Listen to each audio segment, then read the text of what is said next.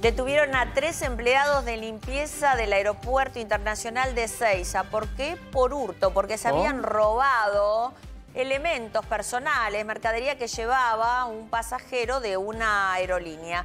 Esto ocurrió cuando todos los pasajeros estaban bajando de un vuelo que venía del Calafate y los empleados de limpieza subieron a la aeronave para, lógicamente, hacer sus tareas. ¿Qué pasó? Ahí una, un hombre, porque en realidad era un hombre, se había olvidado una especie de maletín en el que llevaba teléfonos celulares, dineros, algunas cosas de valor, exactamente.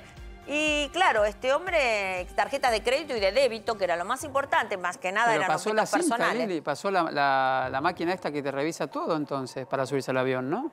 No, no, la- él se lo olvidó en el avión. Ellos hacen la limpieza claro, del avión. Pero me refiero, para subir eso al avión, cuando Sí. vos ingresás con un maletín con todo eso, evidentemente alguien te dejó pasar. Sí, pero tenía su celular y las tarjetas de crédito, Ah. no es una cosa... Ah. No, las cosas personales. todo eso ahí. Elementos personales, pero no, esto es otra cosa que ahora te voy a explicar. Ah, bueno. No, ahora te voy a explicar. Vamos por parte, despacito.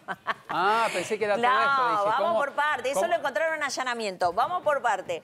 El- ¿Qué pasó con esta gente? La gente de estas tres personas, que eran tres hombres, eh, que van entre, tienen 20, 23 años y 25, ¿qué hicieron? Encontraron eso y pum, se lo guardaron, se lo llevaron. Pero claro, no tuvieron mucha viveza, porque una de las tarjetas de débito la gastaron yéndose a un local de comidas ahí mismo en el aeropuerto, se gastaron en comida. Y claro, cuando el hombre en realidad se la denuncia, el pasajero le dice, pero yo lo dejé ahí arriba, tiene que estar. ¿Qué pasó? Empezaron a buscar cámaras, se dieron cuenta que los únicos que habían entrado eran estos tres empleados. ¿Qué hicieron? Le hicieron un allanamiento en la casa, encontraron esa droga que ustedes están viendo, que era marihuana. Ahora les digo exactamente eh, cuánto, porque no recuerdo, pero eran eh, dos kilos, dos kilos de marihuana. Y también se dieron cuenta que eran ellos los que habían gastado con la tarjeta de débito, ah, hicieron algunas compras en el mismo aeropuerto. La verdad que, bueno, por eso digo, no fueron muy inteligentes. Tenían gustos caros los Fueron señores. detenidos por hurto. ¿Por Claro. qué? Porque no hay violencia acá. Lo cierto es que tienen una causa y seguramente no van a seguir trabajando porque además pertenecían a una, a una empresa tercerizada.